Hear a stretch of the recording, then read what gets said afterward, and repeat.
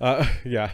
If you go, if you go to Wikipedia, the third picture is him just sitting like a person on a rock, and it's so funny to just look at. Yeah. With his feet splayed out on a rock on on a mountain. It looks um, dumpy and majestic at the same time. Uh, speaking of majestic, I saw these. Um, in, in California, eh? It's like two hours away from the entrance of Yosemite, and it's higher in elevation. And these guys were just chilling, sitting on rocks just like that, and like looking around.